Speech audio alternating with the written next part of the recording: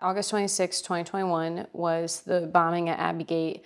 You, my understanding is that you were in Germany by August 28th and you left, you know, your business in California behind. You had to leave your two kids behind. And then from Germany, Tyler was transferred, uh, I think you said that Monday. Uh, so very quick, less than a week, to Walter Reed Hospital, um, where he underwent more treatment. Um, and, and you've uprooted your entire life to take care, of course, of your, your wounded son because that, that's what mothers do. Um, you know, what happened at Walter Reed? My understanding is that the president came to visit you. Um, what was the first time meeting Biden like? He made the decision to see the president, but I think one of the hardest parts of that day for me, other than the actual meeting, was my son made a choice that he did not want to be on the medication that they were giving him, whatever the medicines were. I don't know what they were, but they had him on a lot of medication because of the sheer pain he he was experiencing. I mean, he had had two amputations. He had had his entire abdomen ripped open. He had traumas all throughout his entire body. He had a lacerated liver. He had a hole in his bladder. He had a perforated eardrum. He had a, um, his left testicle removed. And I only share that because I know he already has shared that openly.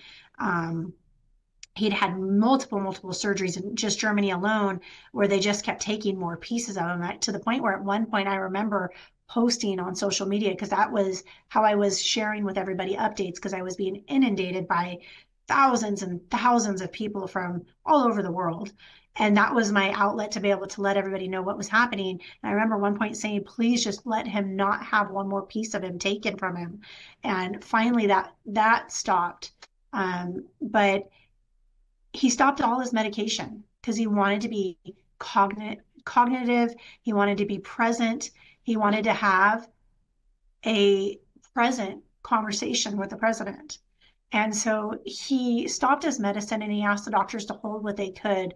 Um, and we were told he was going to be there at a certain time in the day, and he didn't come. And, you know, it's understandable as a professional and given his nature of his position in society that he would not maybe necessarily be there on time.